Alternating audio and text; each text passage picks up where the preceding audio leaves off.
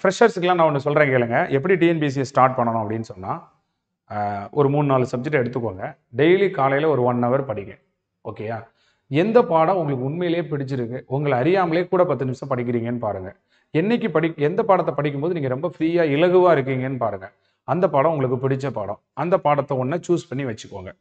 ஓகேயா okay so ஃப்ரெஷ்ஷாக படிக்கிறவங்க நல்லா தெரிஞ்சுக்கோங்க. நீங்கள் டிஎன்பிசி படிக்கணும்னு முடிவு பண்ண உடனே என்னென்ன சப்ஜெக்ட் இருக்குன்னு தெளிவாக தெரிஞ்சுக்கோங்க. சிலபஸை பிரிண்ட் அவுட் எடுத்து எல்லா பக்கமும் ஒட்டி வச்சுக்கோங்க. ப்ரீவியஸ் இயர் கொஷின் ஒரு சாம்பிளுக்கு ரெண்டு கொஷின் எடுத்து கையில் வச்சுக்கோங்க. ரொம்பலாம் வேணாம் ஒரு ரெண்டு கொஷின் எடுத்து வச்சுக்கோங்க. போதும். இப்போ தானே ஃப்ரெஷ்ஷாக படிக்க ஆரம்பிச்சிருக்கோம். அதனால என்னென்ன புக்ஸ் வேணும்னு நினைக்கிறீங்களோ அந்த புக்ஸ்லாம் கொஞ்சம் கலெக்ட் பண்ணி ஆர்டர் போட்டு வாங்கி வச்சுக்கோங்க. வச்சுக்கிட்டு இப்போ படிக்க ஸ்டார்ட் பண்ணணும். என்ன பண்ணலாம்? நேராக தாய் தகப்பண்ட ஆசீர்வாதம் வாங்கலாம் கோயிலுக்கு போகலாம் ஒரு நிதானமாக ரைட் நம்ம ப்ரிப்பேர் பண்ணோம் ப்ரிப்பரேஷனை ஸ்டார்ட் பண்ணணும்னு போட்டு ஒரு நல்ல நாளாக நல்ல நேரமாக ஸ்டார்ட் பண்ணுங்கள் ஸ்டார்ட் பண்ணும்போது என்ன பண்ணுங்க அப்படின்னா நாலு நாளைக்கு நாலு சப்ஜெக்ட் படிங்க. எந்த சப்ஜெக்ட் உங்களை அறியாமலே இன்ட்ரெஸ்ட்டாக படிக்கிறீங்களோ அந்த சப்ஜெக்ட் உங்களுக்கு இன்ட்ரெஸ்ட்டாக இருக்குன்னு அர்த்தம். சரியா? அந்த இன்ட்ரெஸ்ட்டாக இருக்கிற சப்ஜெக்டை ஃபஸ்ட்டு ஒரு ஒரு போர்ஷனாக எடுத்து வச்சுக்கோங்க. ரெண்டாவது எந்த ஒரு காரியத்தையும் செய்கிறதுக்கு அந்த காரியத்தில் ஜெயிக்க என்னன்னு பார்க்கணும். இப்போ நீங்கள் படிக்கிற சப்ஜெக்ட்டில் வந்து அதிகமாக கொஷின் கேட்கல ஆனால் வேற ஒரு சப்ஜெக்ட்டில் நிறைய கொஷின் கேட்குறாங்கன்னா அதை ஃபஸ்ட்டு படிக்கணும். எதை முதல்ல பண்ணணுமோ அதை முதல்ல பண்ணணும். எதை காலம் தாழ்த்தி பண்ணலாமோ அதை காலம் தாழ்த்தி பண்ணலாம் இல்லையா? தூங்குக தூங்கி செயற்பால தூங்கற்க தூங்காது செய்யும் வினைன்னு நம்ம படிச்சிருக்கோம். அதே போல் விரைந்து செய்யக்கூடிய வேலையை விரைந்து செய்யணும். காலம் தாழ்த்தி செய்யக்கூடிய வேலையை காலம் தாழ்த்தி செய்யணும். அப்போ நீங்கள் என்ன பண்ணலாம்? உங்களுக்கு பிடிச்ச சப்ஜெக்ட் ஒன்று எடுத்து வச்சுக்கோங்க. கட்டாயம் ஸ்கோர் பண்ணுறதுக்கு தேவையான இன்னொரு சப்ஜெக்ட் எடுத்து வச்சுக்கோங்க. ஒரு ஸ்கோரிங் சப்ஜெக்ட் ஒரு பிடிச்ச சப்ஜெக்ட் இப்படி நீங்கள் கொஞ்சம் ட்ராவல் பண்ணுங்கள் ஒரு நாளைக்கு ரெண்டுலேருந்து மூணு சப்ஜெக்ட் வரைக்கும் கூட படிக்கலாம். தப்பு கிடையாது. கொஞ்சம் நோட்ஸ் எடுத்தும் படிக்க ட்ரை பண்ணுங்கள்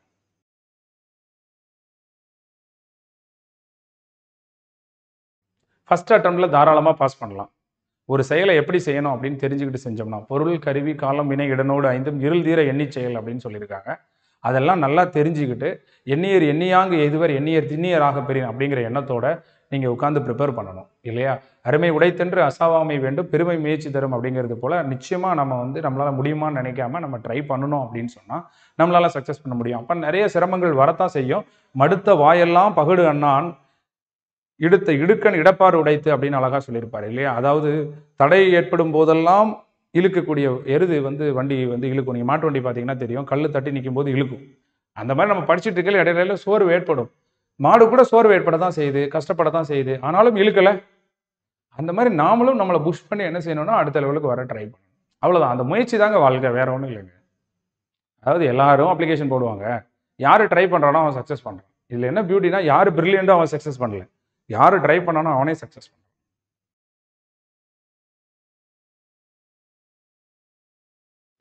ஸ்மார்ட்டாக படிக்கிறதுக்கு ஒரு டிப்ஸ் சொல்லுங்கள் அப்படின்னு சொன்னால் எந்த ஒரு காரியத்தையும் செய்கிறதுக்கு ஒரு ஈஸியான வழி இருக்கும்.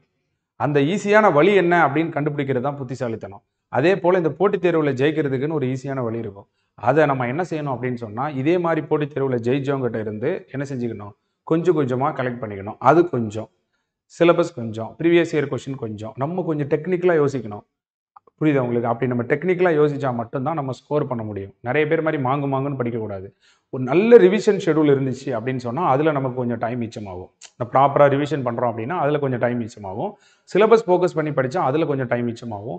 ப்ரீவியஸ் இயர் கொஸ்டின் அனலைஸ் பண்ணால் அதில் கொஞ்சம் நமக்கு டைம் மிச்சமாகும். இப்போல்லாம் எல்லாருமே வந்து அனலைஸ் பண்ணுறதில்ல டெஸ்ட் ப்ராக்டிஸ் ஒரு தடவை ரெண்டாயிரம் மணி நேரம் செலவு பண்ணி ஒரு போட்டித் தேர்வுக்காக படிக்கிறாங்க.